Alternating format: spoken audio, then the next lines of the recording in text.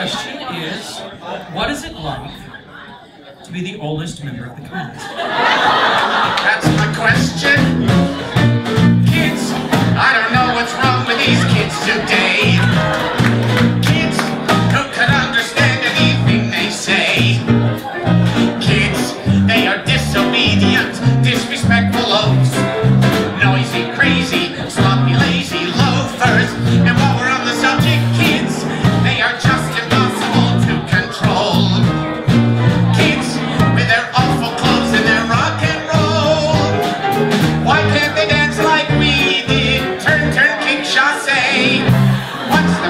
with kids today? Kids. I didn't mind the offstage singing. It was lifting that big box that hurt. Kids. Why don't you worry about your own age and cut off those man buns? Kids.